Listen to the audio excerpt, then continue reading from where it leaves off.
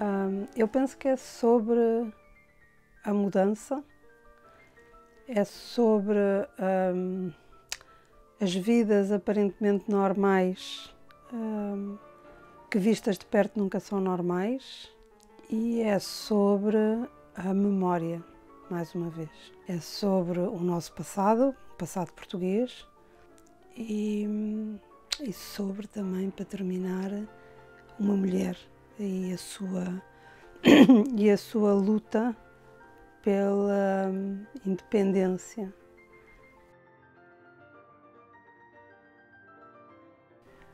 Sim, eu gosto muito de falar de mulheres.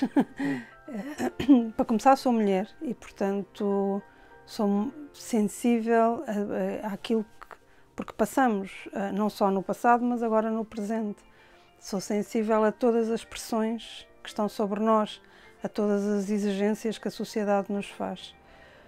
E, e, também, por outro lado, a literatura sempre foi escrita maioritariamente por homens e o pensamento e as aventuras, as mulheres uh, eram, tinham sempre papéis uh, ou de amantes, ou de musas, ou de mães, mas nunca, eram, nunca estavam em primeiro lugar na sua complexidade. E, e também por isso acho interessante começar a registar o nosso universo.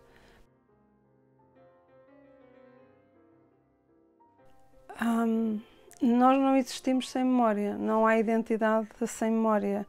Nós só temos o passado e, e somos o resultado desse passado, quer como países, quer como pessoas.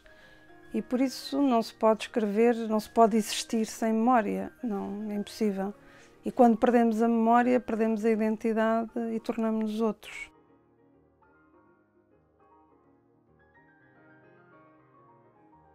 Não, foi sempre o primeiro, foi sempre porque a Iliette tem uma história, um nome. Eu eu estava para ser Iliette, eu própria, porque o meu pai estava em Angola quando eu nasci, em Portugal, e mandou por carta à minha mãe duas propostas de nome. Uma era Dulce e outra era Iliette.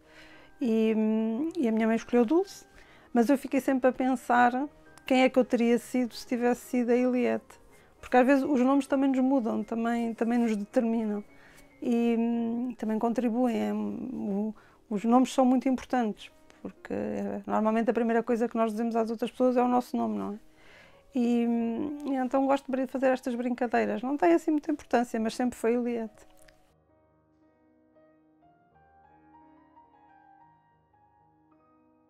Eu já tenho, eu já tenho escrito, eu já tenho escrito.